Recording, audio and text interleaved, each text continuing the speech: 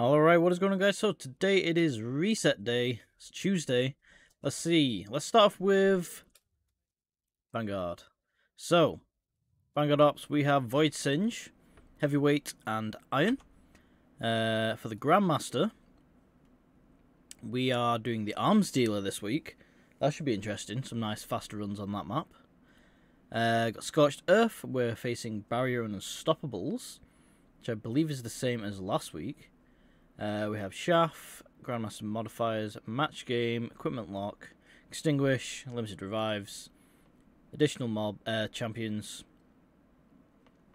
Solar and Void Shields, and Solar Burn.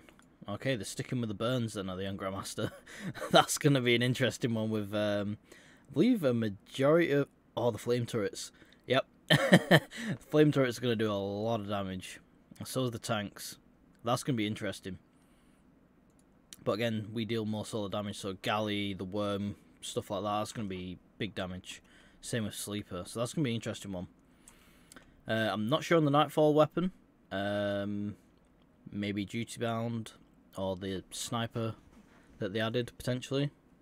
Who knows? That'd be interesting to see the Adept versions of those. Um, Crucible. Iron Banner is back. We also have Team Scorched on as well. So make sure, by the way, make sure you are handing in all your Iron Banner tokens. Uh, because after this season, you cannot hand them in. They'll just be they'll either just be removed from your inventory or just completely just goners. So make sure you go ahead and use all your tokens. when that man's up there. Um, let's go to the store. Let's go to the store.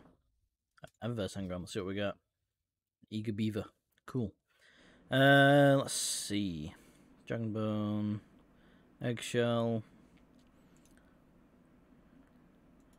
That's a very purple shader.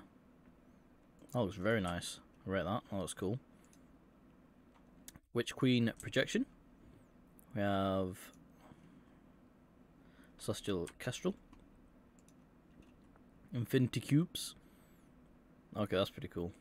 That's a nice like little like waiting emote. Pretty cool. Uh, we have the standard consumables. Breakdust, we have a glaive mistake. Okay, that's pretty sick. oh, come on. okay, that's pretty cool. Might have to grab that. That's pretty sick. Headbanger. Very Titan emote. Better start repeatedly, just yeah, it does. Very Titan. we got the Bushwhacker. A little backpick. Got the Prometheus uh, OSP ship. 1C. Okay, this could look pretty cool with certain shaders on.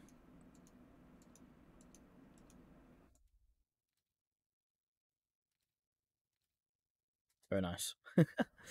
uh, we have the gauntlets for each character. We have a hard light ooh, ornament. That looks pretty cool.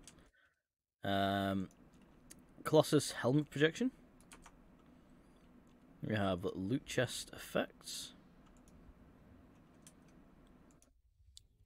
Uh, Minotaur's effect. Twin snake effect. New one. Heat shielded. I quite like the like orangey, goldy, and grey sort of shaders. That's pretty cool. Definitely uh, grabbing that bad boy. Again, copper brand. Looks pretty cool on certain stuff. Carbon blood. Very, very nice looking shader on certain weapons and armor. As you can see, this armor set. Very slight red accents, but then on messenger, it's mainly red with a tiny bit of black. So it's very, very nice shader if you've not got that. And we have Smashing Success, which is a nice green pink shader. And I believe that should about do it for the reset. So let me know what you guys, uh, if you're going to be playing Banner, what stuff you need to grind for. Have you got the sword yet? Have you got the hand cannon yet? Um,